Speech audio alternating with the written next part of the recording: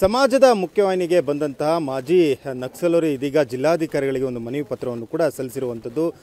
ಮಲೆನಾಡಿನ ಕೆಲ ಭಾಗಗಳಲ್ಲಿ ಮೂಲಭೂತ ಸೌಲಭ್ಯದ ಕೊರತೆ ಇರುವಂಥದ್ದು. ಹಾಗೆಯೇ ಸರ್ಕಾರ ನೀಡಿದಂಥ ಭರವಸೆಗಳನ್ನು ಯಾವುದನ್ನು ಕೂಡ ಈಡೇರಿಸಿಲ್ಲ. ಆ ಭರವಸೆಗಳೆಲ್ಲವೂ ಕೂಡ ಭರವಸೆಯಾಗಿ ಉಳಿದಿರುವಂಥದ್ದು. ಕೇಸ್ಗಳನ್ನು ವಿತ್ಡ್ರಾ ಮಾಡುವ ಬಗ್ಗೆಯೂ ಕೂಡ ಅಂದು ಕಮಿಟಿ ಒಂದು ಭರವಸೆಯನ್ನು ಕೂಡ ನೀಡಿತ್ತು. ಆ ಭರವಸೆ ಭರವಸೆಯಾಗಿ ಉಳಿದಿರುವಂಥದ್ದು. ಹಾಗಾಗಿ ಒಂದು ಈಗ ನಿಯೋಗ ಒಂದು ಜಿಲ್ಲಾಧಿಕಾರಿಗಳಿಗೆ ಒಂದು ಮನವಿ ಪತ್ರವನ್ನು ಕೂಡ ಸಲ್ಲಿಸಿರುವಂಥದ್ದು. ನಮ್ಮ ಮೇಲಿರುವಂಥ ಕೇಸ್ಗಳನ್ನು ವಿತ್ಡ್ರಾ ಮಾಡಬೇಕು. ಹಾಗೆಯೇ ಪ್ರಜಾತಾಂತ್ರಿಕ ವ್ಯವಸ್ಥೆಯಲ್ಲಿ ಬದುಕುವಂಥ ಎಲ್ಲ ರೀತಿಯ ಒಂದು ನಾಗರಿಕ ಸೌಲಭ್ಯಗಳನ್ನು ಕೊಡಬೇಕು ಅನ್ನೋ ಒತ್ತಾಯವನ್ನು ಕೂಡ ಜಿಲ್ಲಾಧಿಕಾರಿಗಳ ಮೂಲಕ ಸರ್ಕಾರಕ್ಕೆ ಒಂದು ಒತ್ತಾಯವನ್ನು ಕೂಡ ಮಾಡಿರುವಂಥದ್ದು. ನನ್ನ ಜೊತೆಗೆ ಈಗ ಪದ್ಮನಾಭ್ ಕೂಡ ಇರುವಂಥದ್ದು. ಅವರನ್ನು ಮಾತಾಡಿಸ್ತೀನಿ. ಸರ್, ಏನಂತ ಜಿಲ್ಲಾಧಿಕಾರಿಗಳಿಗೆ ಒತ್ತಾಯ ಮಾಡಿದ್ರಿ? ಅಂದರೆ ನಾವು ಎರಡು ಸಾವಿರದ ಹದಿನಾರರಲ್ಲಿ ಮುಖ್ಯವಾಹಿನಿಗೆ ಬಂದ್ವಿ. ಆ ನಂತರ ಎಂಟು ವರ್ಷ ಆಯ್ತು ಇವಾಗ. ಇದುವರೆಗೆ ನಮ್ಮದು ಯಾವುದೇ ಕೇಸ್, ಒಂದಷ್ಟು ಕೇಸ್ಗಳು ಮಾತ್ರ ಮುಗಿದು ಕೇಸ್ಗಳೆಲ್ಲವೂ ಮುಗಿದಿಲ್ಲ. ಕನ್ಯಾಕುಮಾರಿ ಇನ್ನೂ ಜೈಲಲ್ಲೇ ಇದ್ದಾರೆ. ಏಳುವರೆ ವರ್ಷ ಆಯ್ತು ಅವ್ರು ಬಂದು ಜೈಲಲ್ಲೇ ಇದ್ದಾರೆ. ಅವರ ಪುಟ್ಟ ಮಗು ಇದೆ. ಮಗು ನಾಲ್ಕು ವರ್ಷ, ಐದು ವರ್ಷ ಜೈಲಲ್ಲಿದ್ದು ಈಗ ಹೊರಗೆ ಬಂದು ಶಾಲೆಗೆ ಸೇರಿಸಿದ್ವಿ. ಮಗು ಈಗ ತಾಯಿಯನ್ನು ತೊರೆದು ಬದುಕುವಂಥ ಸ್ಥಿತಿ.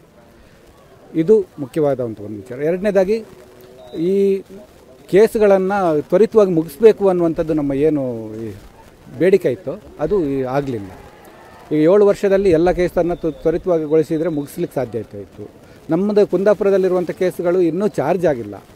ಎಂಟು ವರ್ಷ ಆಗಿದೆ, ಹೋಗೋದು ಬರೋದು ಆಗ್ತಿದೆ ಬಿಟ್ಟರೆ ಚಾರ್ಜ್ ಮಾಡಿಲ್ಲ, ಕೇಸ್ ಮುಗಿಸುವ ಕಡೆ ಡೈರೆಕ್ಷನ್ ಇಲ್ಲ.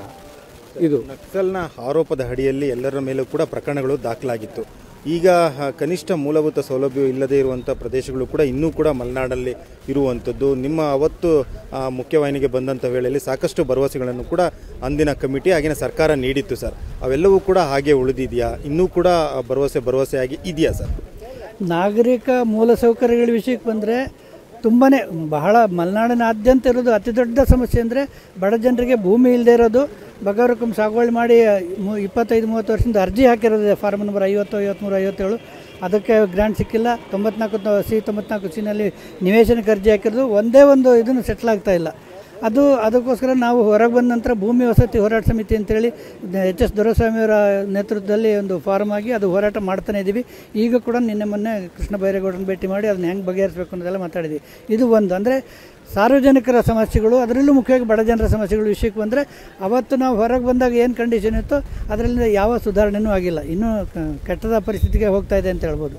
ಅದಲ್ಲದೆ ನಾವಿವತ್ತು ಹೋಗಿ ಡಿ ಸಿನ ಭೇಟಿ ಮಾಡಿದ್ದಕ್ಕೆ ಮುಖ್ಯ ಕಾರಣ ಈಗ ಹೊ- ನಮ್ಮ ನಂತರ ಹಿಂದಕ್ಕೆ ಬಂದ್ರಲ್ಲ ಸಾಕಷ್ಟು ಜನ ಈ ಈ, ಪುನರ್ವಸತಿ ಮುಖ್ಯವಾಹಿನಿಗೆ ಮರಳುವುದು ಮತ್ತು ಪುನರ್ವಸತಿ ಯೋಜನೆಯಲ್ಲಿ ಅವರ ಅವರಿಗೇನು ಆಶ್ವಾಸನೆ ಕೊಡಲಾಗಿತ್ತು ಅದನ್ನು ಬಗೆಹರಿಸಿಲ್ಲ.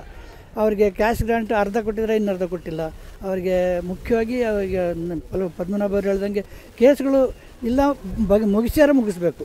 ಚಾರ್ಜ್ ಮಾಡಿ. ಇದನ್ನೆಲ್ಲ ನೋಡಿ ಕೆಲವರು ಹಾಗಾಗಿ ಮುಖ್ಯವಾಹಿನಿಗೆ ಬರ್ತಾ ಇಲ್ವಾ? ಏನು ಅಲ್ಲ ಅದು ಯಾರಾದರೂ ಊಹಿಸ್ಬೋದು ಅದು. ಇಲ್ಲಿ ಬಂದವ್ರ ಗತಿ ಏನಾಗಿದೆ ಅಂತ ನೋಡ್ತಾರಲ್ಲ ಇನ್ಯಾರಾದರೂ ಬರಬೇಕು ಅಂದರೆ. ಈಗ ಬೇರೆಯವ್ರನ್ನ ಕರ್ಕೊಂಬರ್ಲಿಕ್ಕೆ ಹೈಪವರ್ ಕಮಿಟಿಯವರು ಒತ್ತ ಇದು ಒತ್ತು ಕೊಡ್ತಾ ಇದ್ದಾರಂತೆ ಎಂಫಸೈಸ್ ಮಾಡ್ತಿದ್ದಾರೆ ಆದರೆ ಬಂದವ್ರ ಗತಿ ನೋಡ್ಕೊಂಡು ತಾನೇ ಮುಖ್ಯವ್ರು ಬರೋದಾದರೆ. ಈಗ ಯಾರದ್ದು ಯಾರಿಗೂ ಸಂಪರ್ಕ ಇಲ್ಲ ನಮಗೇನು ಯಾರು ಸಂಪರ್ಕ ಇಲ್ಲ. ಆದರೆ ಇಲ್ಲಿ ಏನಾಗುತ್ತೆ ಅನ್ನೋದನ್ನ ಅವ್ರು ಅಬ್ಸರ್ವ್ ಮಾಡ್ತಾರೆ. ಕಾಡಲ್ಲಿರಲಿ ಎಲ್ಲೇ ಇರಲಿ. ಇಲ್ಲಿ ಇವ್ರಿಗೂ ಪದ್ಮನಾಭನ ಒಂದು ಸರ್ತಿ ಅವರೆಲ್ಲ ಬೇಲ್ ತಗೊಂಡು ಹೊರಗೆ ಬಂದಮೇಲೆ ಮತ್ತೆ ತಿರ್ಗಿ ಅರೆಸ್ಟ್ ಮಾಡಿ ಹಿಂಡಲ್ಗ ಜೈಲಲ್ಲಿ ಹಾಕಿ ಕತ್ತಲ ಕೋಣೆಯಲ್ಲಿ ಹಾಕಿ ಟಾರ್ಚರ್ ಕೊಟ್ಟಿದ್ದಾರೆ ಅವರಿಗೆ. ಈ ಥರ ಎಲ್ಲ ನಡೀತಾ ಇದೆ. ಎನ್ ಐ ಎ ಕಳಿಸ್ಬೇಕು ಅಂತ ಹೇಳ್ತಾ ಇದ್ದಾರೆ ಇವರು ಯಾರು ಬಿ ಜೆ ಪಿಯವರು ಅಲ್ಲಿ ಎನ್ ಐ ಎ ಕಳಿಸುವಂಥದ್ದು ಏನೂ ಇಲ್ಲ. ಈಗ ಏನಿತ್ತು ಅದನ್ನು ಅವರು ಕೋರ್ಟ್ಗಳಲ್ಲಿ ತೀರ್ಮಾನ ಆಗಿದೆ. ಕನ್ಯಾಕುಮಾರಿ ಅಂತ ಒಬ್ಬರು ಅವರಲ್ಲಿ ಯಾವ ಇದು ಇದರಲ್ಲಿ ಕಾರ್ಯಚಟುವಟಿಕೆಯಲ್ಲಿ ಭಾಗವಹಿಸ್ತಾರಲ್ಲ ಅಲ್ಲಿ ಇದ್ರೂ ಕಾರಣಕ್ಕೆ ಅವ್ರನ್ನ ಅರೆಸ್ಟ್ ಮಾಡಿದ್ದಾರೆ. ಅವರು ಎಂಟು ಎಂಟು ವರ್ಷದಿಂದ ಜೈಲಲ್ಲಿದ್ದಾರೆ ಅವ್ರ ಮೇಲೆ ಅರವತ್ನಾಲ್ಕು ಪ್ರಕರಣ ಯಾವ್ಯಾವ ಪ್ರಕರಣ ಇತ್ತು ಎಲ್ಲದರಲ್ಲೂ ಅವ್ರ ಹೆಸರು ಸೇರಿಸ್ತಾ ಹೋಗಿದ್ದಾರೆ. ಇದನ್ನು ಖಂಡಿತ ಅದನ್ನು ಹಂಗೆ ಮಾಡಬಾರ್ದು ಅದನ್ನು. ವಿತ್ಡ್ರಾ ಮಾಡ್ಲಿಕ್ಕೆ ಸಾಧ್ಯ ಇರೋದು ವಿತ್ಡ್ರಾ ಮಾಡಬೇಕು. ಸಾಧ್ಯ ಇಲ್ಲದಿರೋದ್ರಲ್ಲಿ ಬೇಲ್ ಕೊಟ್ಟು ಹೊರಗೆ ಬರೋಕ್ಕೆ ಮಾಡಬೇಕು.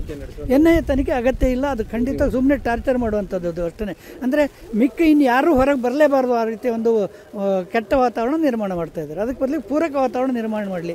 ಇದನ್ನು ಈಗ ಜಿಲ್ಲಾಧಿಕಾರಿಗಳು ತಮ್ಮ ಕೈಲಿ ಮಾಡಬೇಕು, ಹೈ ಪವರ್ ಕಮಿಟಿಗೆ ರೆಫರ್ ಮಾಡಬೇಕು. ಆಗಲೇ ಅಂದರೆ ಇದು ಪಬ್ಲಿಕ್ ಇಶ್ಯೂ ಮಾಡಿ ಹೋರಾಟ ನಡೀತದೆ ಇದ್ರ ಬಗ್ಗೆ. ಪೂರಕ ವಾತಾವರಣ ಇಲ್ಲದ ಇರುವ ಹಿನ್ನೆಲೆಯಲ್ಲಿ ಸಮಾಜದ ಮುಖ್ಯವಾಹಿನಿಗೆ ಇನ್ನೂ ಕೆಲವರು ಬರ್ತಾ ಇಲ್ಲ ಅನ್ನೋ ಮಾತನ್ನು ಕೂಡ ಇವರು ಆಡ್ತಾ ಇರುವಂಥದ್ದು. ಚಿಕ್ಕಮಗಳೂರಿನ ಕ್ಯಾಮ್ರಾಮನ್ ಶ್ರೀಕಾಂತ್ ಜೊತೆಗೆ Aldur Kiran, Asia Suvarna news.